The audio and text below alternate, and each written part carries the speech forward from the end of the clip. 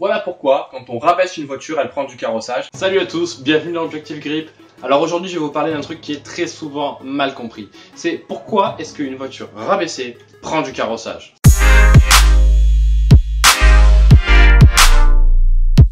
Ok, c'est parti, on va voir pourquoi. Et on va voir d'ailleurs si elle prend du carrossage ou pas, parce que c'est pas toujours le cas. Voire même, elle peut en perdre. Le châssis de la voiture. On attache notre petit trou là par un bout de métal peu importe. La voiture nous regarde face à nous, ok? Elle est face à nous et on la regarde, elle nous regarde, on la regarde, elle nous regarde, elle nous fonce dessus. Si on rabaisse la voiture, en fait, donc on amène ce machin vers le bas. Ça équivaut à relever en fait la roue. Et donc à relever ce point-là. On ne voit plus rien du tout. Ça, c'était la position initiale. Et donc la nouvelle position, ce serait un bras ici, avec notre roue, alors que initialement, notre roue était ici. Donc la roue en fait remonte. C'est ce qu'il faut bien comprendre? Du châssis baisse, la roue remonte, Ok, action, réaction, c'est relatif. Si je baisse la main, ça revient à remonter la main, ok, au niveau de l'angle des bras. Maintenant, comment est-ce que la roue est accrochée au châssis en fait? Qu'est-ce qu'il y a entre les deux?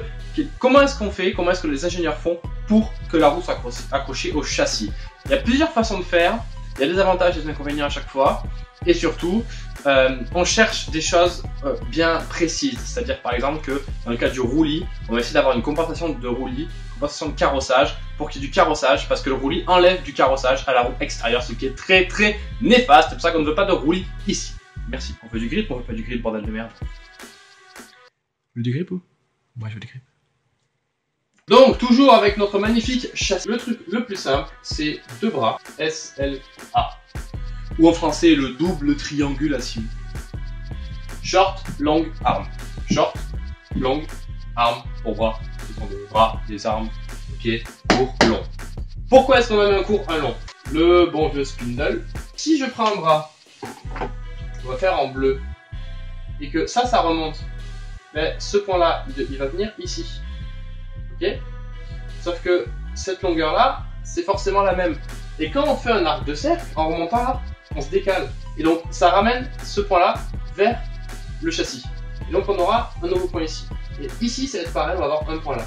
Comme ce bras-là est plus court que celui-là, et bien celui-là va s'effacer plus que celui-là. Ça, 10 mm, 5 mm. On a notre nouvelle roue maintenant qui est comme ça et qui a pris donc. On voit bien qu'ici, il y a un angle qui est formé entre là et là.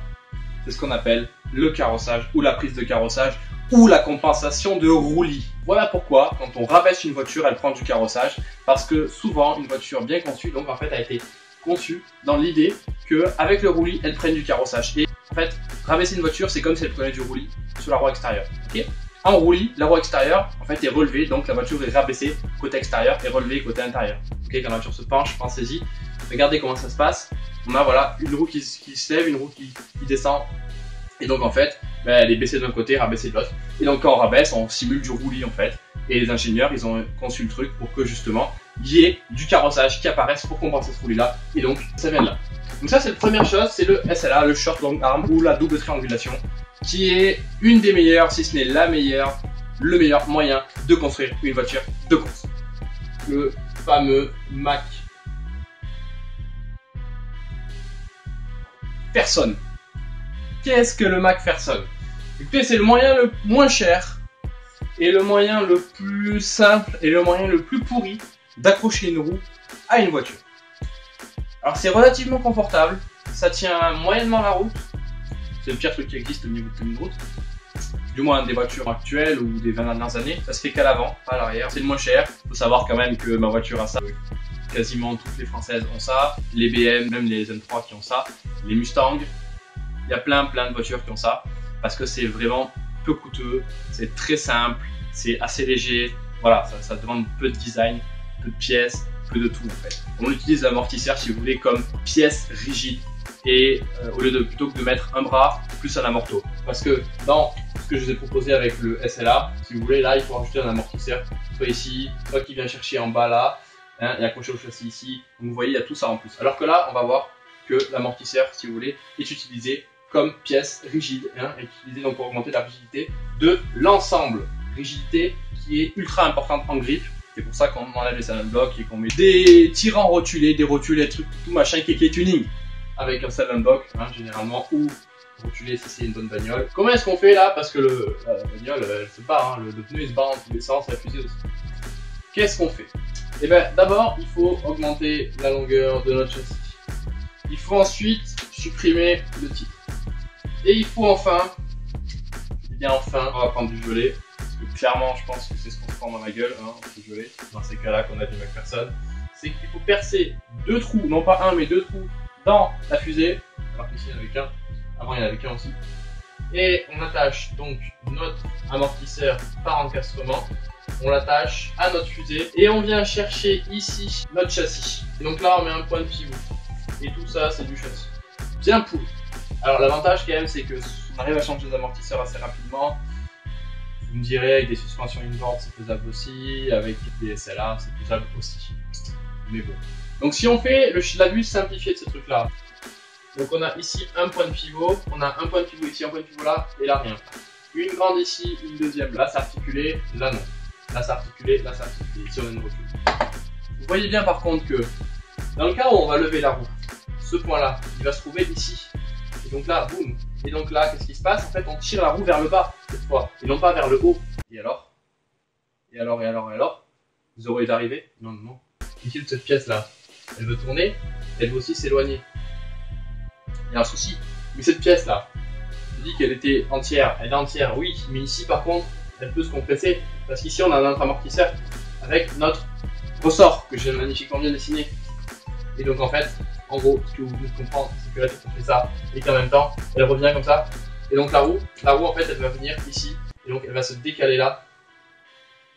Et donc en fait, ce qui va se passer, c'est que finalement, on va perdre du carrossage et pas forcément gagner ou rester le même. En gros, bref, on n'a pas de compensation sur du McPherson. À l'arrière, par contre, on en a quand on a des doubles triangulations ou des multibras. À l'avant, pas de compensation. C'est pour ça que là-dessus, les gars, on part sur du 4 degrés de carrossage, 3-4 degrés minimum. Parce qu'avec le roulis, si on prend, si a de la chance, une voiture bien réglée, on prend 1 à 2 degrés de roulis maximum. Si on part avec 4, il nous en reste plus que 2. 2 degrés de carrossage. C'est vraiment le minimum à avoir hein, en cours. Si vous voulez euh, y aller. Hein. Avec 2 degrés, j'ai bien dit 2 degrés de roulis, c'est vraiment euh, bien géré 2 degrés de roulis hein, parce que je connais pas beaucoup de bagnoles sur route qui prennent que 2 degrés. Avec des pneus de route. Mettez des bons pneus, plus de grip, plus de grip, ça veut dire plus d'adhérence, ça veut dire plus de roulis, forcément de suite, pour ça qu'on met une suspension plus rigide, pour qu'il y ait moins de roulis en fait, c'est pour ça, c'est pas juste pour se casser le cul dessus. C'est pour cette raison-là. Et donc, voilà, McPherson, c'est pour ça que ça ne pas la route, c'est parce que on a une mauvaise proportion de roulis, parce qu'on ne prend pas de carrossage, voire même on en perd, et donc c'est mauvais, voiture rabaissée c'est encore pire, parce que si vous voulez, euh, quand, on est, quand le bras est horizontal, ça passe quasiment pas de changement là en termes de horizontalité, donc la roue ne bouge quasiment pas en carrossage. Par contre, si le bras est déjà là et qu'il vient là, là par contre, voilà, il y a beaucoup beaucoup de changements de carrossage. Voire même, ce qui est bien, c'est quand le bras au repos est un peu vers le bas. Ça veut dire que s'il remonte, vous voyez, il n'y a pas beaucoup de variations, et voire même là, s'il monte là, il va gagner en carrossage. Euh, pardon, ce bras est mal dessiné. Voilà, de là à là, il y a une différence. Et donc, la roue va gagner encore en carrossage si le bras est un peu vers le bas. Donc, voilà, c'est la bonne chose. Et des fois, ceux qui rabaissent des voitures arrivent avec des, des bras comme ça. Donc, entre ça et ça, ici, il y a une distance phénoménale. Très mauvais. Très, très mauvais. Donc, en fait, on a perdu tout le carrossage. Il faut le rattraper avec ici là on va augmenter du coup le KPI, on va augmenter cet angle ici, hein, c'est l'angle de rotation on appelle ça, euh, par rapport à la, ça, cet angle là, si vous voulez, c'est normal. Et euh, du coup si on augmente ça, si vous voulez, si on tourne encore, on va avoir un angle qui est encore plus grand, ok? Et surtout, on va du coup, ça va faire pivoter la roue. Donc c'est pas mal, mais on perd quand même des choses. Et on a une limite aussi à cet angle supplémentaire. Et aussi, autre chose, c'est qu'en faisant ça, on perd, si vous voulez, en rigidité des ressorts, c'est-à-dire que bon, c'est petit, hein, c'est pas, très important, mais quand même, il y, a une notion, et si on le fait, si vraiment on incline beaucoup, beaucoup trop l'amortisseur, on arrive à un point où les ressorts paraissent vraiment souples, c'est-à-dire que pour le même ressort, plus on incline, plus il paraît souple, si vous voulez, plus le ressort, en fait, en ressenti, en poussant là, ça va être souple, alors que moins on incline, plus le ressort va paraître rigide. Donc on va sentir plus ou moins rigide en fonction de si on incline ou pas. Donc voilà, si on incline trop, vraiment, il va falloir changer de ressort pour avoir la même, même ressenti et la même tenue de roue. Mais dans tous les cas, comme je l'ai dit aussi, on va être bloqué à un moment donné, on va toucher le châssis, on va être, euh, on va être tout simplement bloqué. Autre façon de aussi augmenter le carrossage que j'y suis, c'est de modifier ces trous là et du coup de permettre à la roue de tourner en statique par rapport à l'amortisseur. C'est-à-dire qu'on aurait, au lieu la fusée ici comme ça, on aurait la fusée un peu tournée. donc là, vous imaginez bien tout le reste, hein. c'est juste qu'on change en fait. Quand on a ici notre amortisseur, ici notre fusée, on veut les fixer comme ça ensemble, on les fixe comme ça ensemble. Voilà, et donc on peut les fixer avec le carrossage, le carrossage positif comme on veut. Bien sûr, je vais parler carrossage négatif, mais j'ai vu que tout le monde le sait déjà. Ça, c'est un angle, euh, c'est moins fort. C'est un angle négatif. Le multibras, le multibras, qu'est-ce que c'est? C'est compliqué. Le multibras, qu'est-ce que c'est? On a notre roue, bah, toujours pareil avec l'acte et tout le machin. Hein. Qu'est-ce qu'on a? Ben on a un bras là, on a un bras là, on a un bras derrière, on a un bras devant. Allez, c'est tout. Salut les gars, moi. Ici d'ailleurs, il y a deux points d'accroche sur ce bras-là. Il y en a deux ici, un là. Ici, il y en a un là, un là. Sur celui-là, il y en a un là, un là. Celui-là, il y en a un là, un là. Moi, je me casse. Et il y a la morceau aussi, qui est à la fois, vous voulez accrocher à ce truc-là. Donc, on va faire un truc là. Vous accrocher là, la morceau, il vient sur le châssis. Voilà J'espère que ça vous a plu, le multibras c'est trop bien, c'est vraiment de la merde. En vrai c'est pas trop dégueulasse à représenter comme ça, c'est tout moche. Ce qu'il faut comprendre c'est qu'il y a 4 bras, il y a la morceau qui fixée à la fusée et au châssis. C'est quand même toujours mieux que du McPherson, ça prend du, assez bien du carrossage comme le SLA, parce que voilà c'est un peu plus court là que là, et donc ça prend du carrossage quand ça se baisse. Ou en roulis, hein, vous avez compris encore une fois, baisser et le roulis c'est pareil, Baisser la caisse, la voiture, ça revient à prendre du roulis en statique si vous voulez, d'un point de vue géométrique. Et donc les variations la géométrie, c'est quoi? C'est la cinématique de la roue, c'est-à-dire comment la roue bouge en fait, comment la roue évolue. Pose une bosse, chose comme ça. Pareil, si on prend une bosse, on prend une bosse, on prend du roulis, donc on rabaisse la caisse, on prend une bosse, on prend du roulis, on rabaisse la caisse. Trois choses, même chose sur la roue. Ok? Maintenant, on prend un trou, on roulis sur la roue intérieure et rehausser la caisse. Pareil, quand on prend un trou, la roue descend, c'est comme si on relevait la caisse. D'un point de vue cinématique et géométrique de la roue. Bon, j'espère que ça vous a plu. N'hésitez pas à mettre un pouce bleu euh, en bas de la vidéo, un petit commentaire sur ce que vous aimez, sur votre type de suspension. Si vous avez des questions, je vous répondrai. Des suggestions en bas de la vidéo. Et allez, salut, on se voit dans une prochaine vidéo pour augmenter le grip de votre voiture. Allez, salut